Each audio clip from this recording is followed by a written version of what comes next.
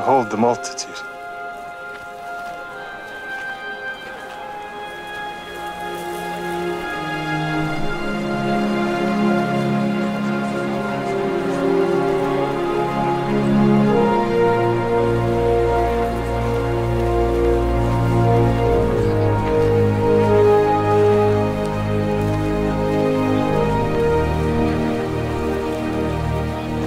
This is a desert place, and now the time's far past.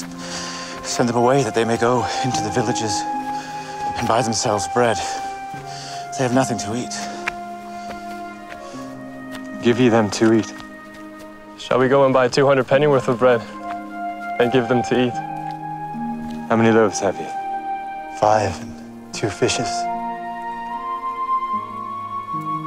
Bring them to me. Divide the people into companies of fifty that they might be fed.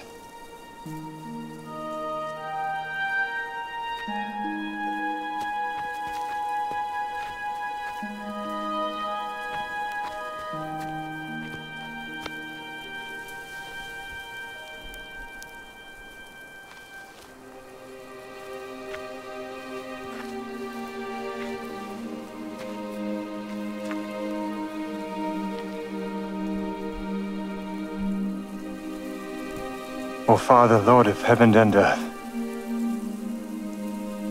I thank thee for thy bounties. Amen.